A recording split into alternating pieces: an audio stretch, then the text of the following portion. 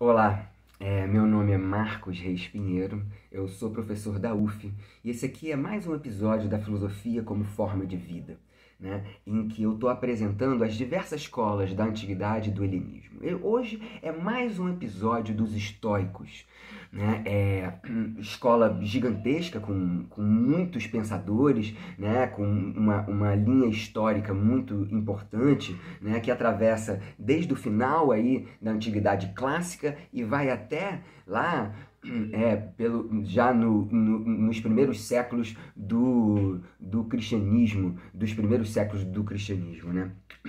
É, os estoicos são uma filosofia profundamente marcada pelo, pela noção de destino.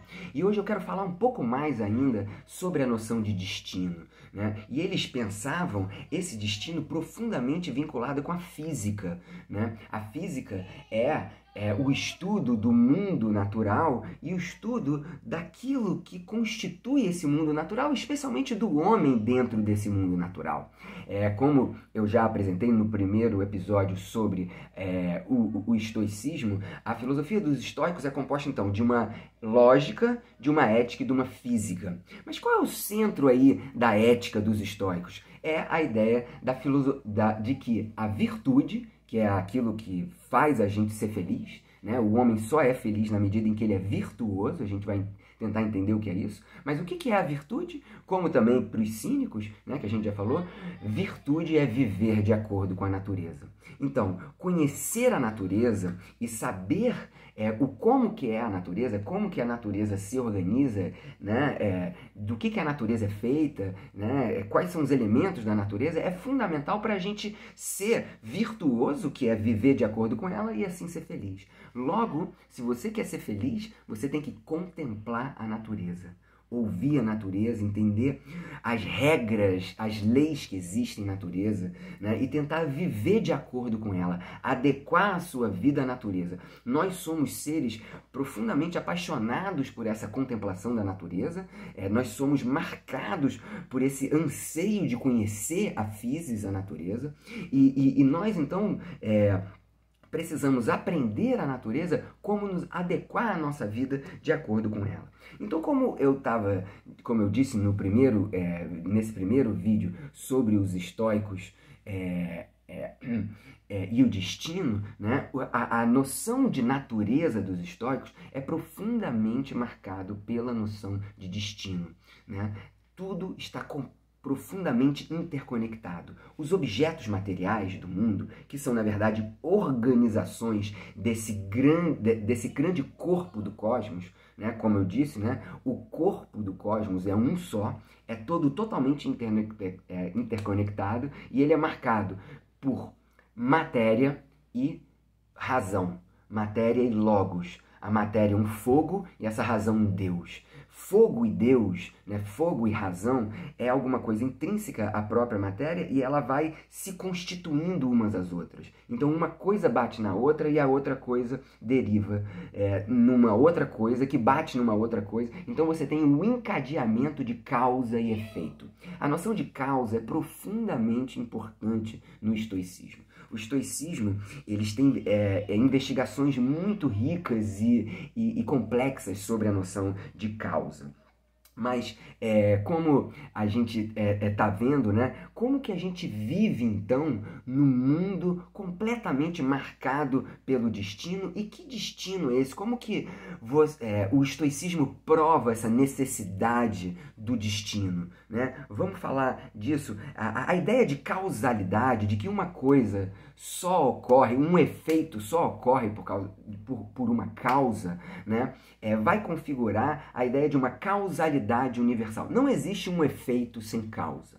Né? Isso é uma proposição fundamental do estoicismo. Não existe um, um, efeito, não existe alguma coisa que ocorre no mundo que não tenha antes uma causa material que force ela a acontecer. Logo, essa própria causa, né, que é, causou esse efeito, ela por sua vez é também um efeito de uma outra causa. E assim a gente tem um desenrolar de causas e efeitos uns nos outros. Né? É, o mundo inteiro é marcado por uma série de causas e efeitos, causas e efeitos, causas e efeitos. é, é, essas causas e efeitos, elas estão determinadas desde o começo do universo. Por quê? Porque como não existe um efeito que venha independente, livre, digamos assim, de uma causa anterior que já determine, todo o efeito que ocorre depende do momento anterior que a determinou. Né? Nós aqui agora só podemos estar aqui agora por causa de um momento anterior que determinou completamente isso que veio aqui agora. Então, nada do que ocorre agora no mundo é, é livre no sentido que é uma, uma alguma coisa totalmente espontânea que surge do nada. Do nada, nada vem. Isso é uma proposição importantíssima na Grécia clássica, em toda a filosofia grega. Do nada, nada vem. Tudo o que ocorre, todo o efeito depende de uma causa. E a causa, no final das contas, é esse fogo que é Deus, né? esse fogo que é a melhor coisa que existe. Então, nesse sentido, tudo no mundo é sempre o melhor possível. É, essa é outra constatação difícil de engolir do estoicismo, mas é uma proposição muito importante porque tudo no mundo é Deus. Né? É, e o homem, é, a, a, digamos, o desafio do ser humano é se adequar a isso que já vai acontecer necessariamente. As pessoas podem começar então a, a, a, perguntar e a criticar o estoicismo aonde é que existe algum tipo de responsabilidade do ser humano se é, o ser humano é, ele está completamente tragado por essa linha causal de causas e efeitos. Não existe nenhuma liberdade no sentido de livre-arbítrio né, para o ser humano, logo o ser humano simplesmente vai fazer aquilo que eu sei que, que vai fazer. Né? É, e existe então um, um chamado argumento do preguiçoso. Né? O argumento do preguiçoso é um argumento, na verdade, que os estoicos elaboram para poder refutar. Né?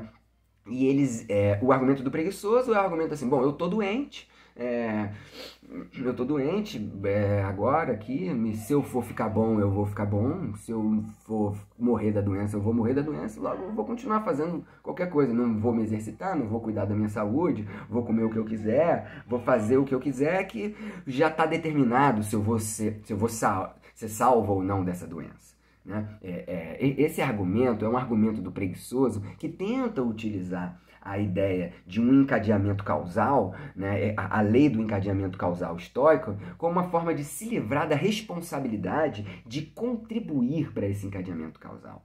A, a noção é, dos estoicos aí fundamental é a noção de concausa. As causas elas funcionam interligadas e há também o papel do homem nessa concausa. Né? O homem tem um papel e ele tem, digamos, uma, uma, um, um impulso por cuidar da melhor forma possível, tanto dele mesmo quanto das coisas que vão alargando a partir dele. Então você tem o, próprio indivíduo, você tem a sua família, você tem a sua tribo, você tem o, o, ser humano e você tem a natureza e a física como um todo. Né? Isso, aqui, isso aí são como que irradiações de, é, de um núcleo fundamental, que sou eu, e o ser hum, é, eu como indivíduo que gosto de cuidar de mim mesmo, gosto de cuidar, né? Eu, é, o, o que eu estou querendo dizer é assim, o ser humano que veio para esse mundo trabalhar nesse teatro que é o teatro cósmico que é o mundo, tem um impulso fundamental dele que é o impulso de cuidar daquilo que lhe pertence, desse papel fundamental que lhe pertence, como a si mesmo, como a sua família, como a humanidade, como a, a, própria natureza. Então, o homem tem um papel a ser feito e ele gosta de fazer esse papel, e esse é o andar da mesma da mesma velocidade da carruagem, como o cachorro, né? A imagem fundamental aí do destino, né? Que os estoicos apresentam, o cachorro ele está amarrado a uma carruagem, que essa carruagem é a carruagem do destino e o cachorro é o ser humano. Se ele reclamar, se ele tentar fazer qualquer outra coisa, ele vai ser arrastado por essa carruagem de qualquer jeito certo? Ele vai ter que realizar isso que o destino comandou para ele realizar. O melhor é ele tentar fazer da melhor forma possível. E essa é a liberdade.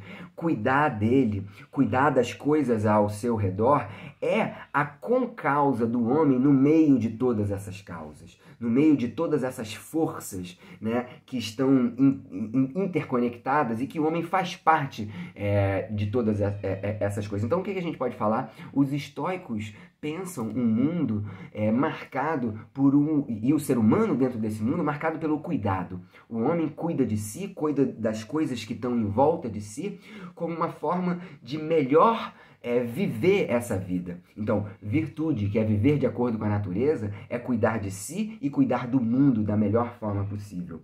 Né? Mas nós ainda vamos voltar para ainda para a noção de destino e para essa noção de co-causa, porque os estoicos apresentam uma ideia fundamental que vai ser muito importante, a ideia do eterno retorno, que o destino não é só o destino de uma única vez, o destino é infinitamente volta esse mesmo destino que foi te dado. Obrigado pela audiência.